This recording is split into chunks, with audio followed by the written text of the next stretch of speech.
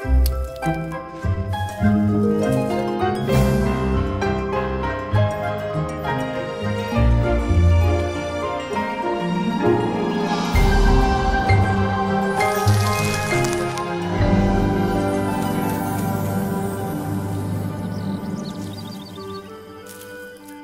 -hmm. you.